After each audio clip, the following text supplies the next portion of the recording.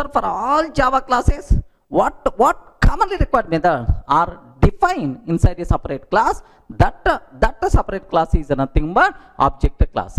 So object class contain the most commonly required methods which are applicable for any Java object. Sir, once uh, these methods uh, required for every Java class, sir, how I can make uh, these methods available for all Java classes if I can make this class as parent class. If it's a parent class, if it's a parent class, automatically parent class methods by default available for all child classes. That's why please make sure this class itself is nothing but access root for Java classes.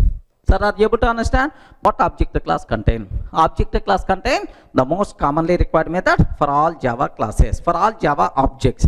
So, when these methods by default available for all Java classes, if it is the root, automatically root methods by default available for every child. That is the reason why object class acts as root for all Java classes because object class methods are required for all Java classes.